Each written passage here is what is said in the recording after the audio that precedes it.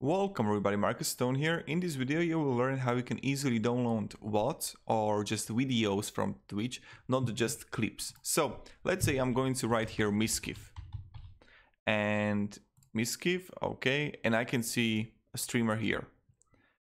It will directly put me to videos and let's say that you want to download this recent broadcasts because you want to make clips from it, you want to make some good moments, highlights, you know how it works. So what you want to do is just open it, take it, opa, and now you need to download a program called Leecher, Twitch. When you're gonna open it, release Franiac Twitch Leecher 1.7 so that's kind of it. Uh, what you want to do is just download it and then what you want to do? I have even Twitch Leecher 1.4 I need to update it. So now what you want to do? Open download folder.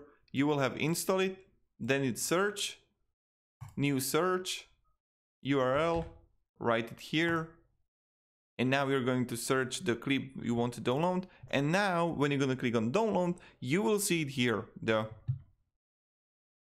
use custom file name that you want to use. It's really up to you. Folder where you want it to download really up to you. Opa sorry.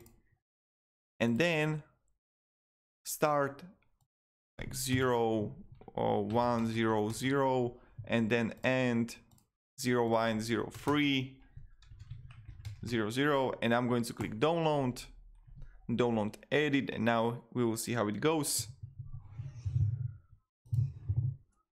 It's converting video, it's already downloaded.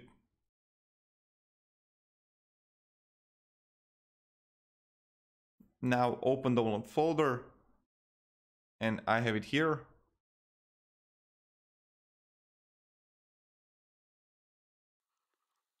Yep. And he has 10,000 subscribers. Oh my god, that's crazy. So this is how you can download Twitch clips, I mean Twitch VODs and Twitch videos uh, from Twitch. If you enjoyed this video, you can support me and subscribe. I'm really thankful that. And also write me in the comments what else would you like to learn and I will make a video on it.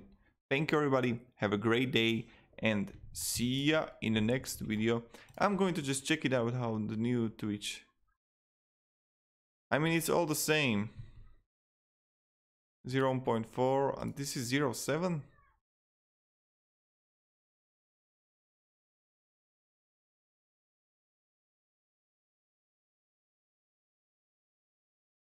New option design.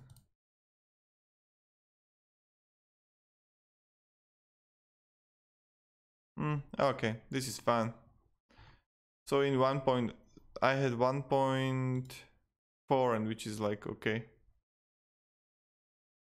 So thank you very much everybody. Have a great day and see ya.